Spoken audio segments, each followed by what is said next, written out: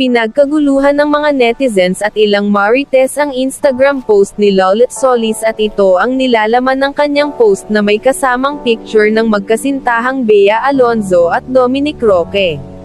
Napansin din pala ng mga followers nila Bea Alonzo at Dominic Roque iyon parang OA na sweetness nila sa mga pictorial sab.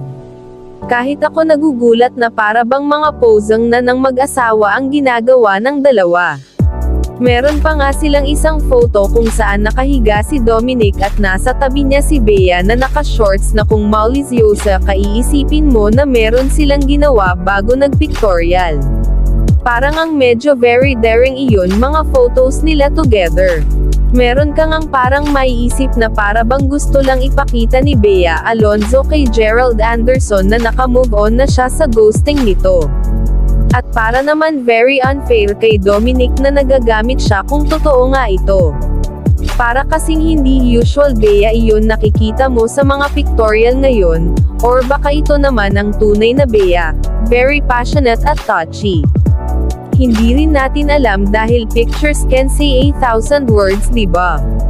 Bongga nga, mas parang wild pa si Bea Alonzo kay Julia Barreto, haha, Or hindi lang showy si Gerald Anderson at mas wild si Dominic Roque. Bongga. Parang nagpo-post lamang si Bea Alonzo ng napaka-sweet na photos para ipakita sa ex niyang si Gerald na nakamove on na siya. Sobrang OA ng posts ng aktres at ni Dominic. Meron ka ngang parang maiisip na para bang gusto lang ipakita ni Bea Alonzo kay Gerald Anderson na nakamove on na siya sa ghosting nito, saad ng veteranong columnista. At para naman very unfair kay Dominic na nagagamit siya kung totoo nga ito, dagdag pa ni Lolet. Maraming netizen naman ang nag-react tungkol sa post ni Lolet. Pauso na naman si Lol ang merits. Hindi ka pa ba malisyosa sa lagay na yan? Mabuti na ong showy kesa ong silent pero nanggaahas na pala sa side. Wala pang pahayag ang actress na si Bea Alonzo tungkol sa issue na ito at makikitang talaga namang napakasaya ngayon ng actress sa kanyang mga ginagawa, mga blessings na natatanggap at sa feeling ng kanyang boyfriend na si Dominic. Ikaw ka chika ano ang say mo sa issue ni Lolet Solis? Bakit kaya may mga taong pilit na sisirain ang masaya at nananahimik mong buhay?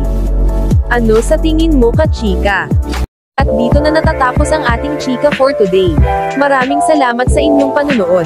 Kung ikaw ay hindi pa nakasubscribe sa Chika Muna YouTube channel, huwag kalimutang pindutin ang subscribe at bell button para updated ka sa lahat ng chika. Maraming salamat!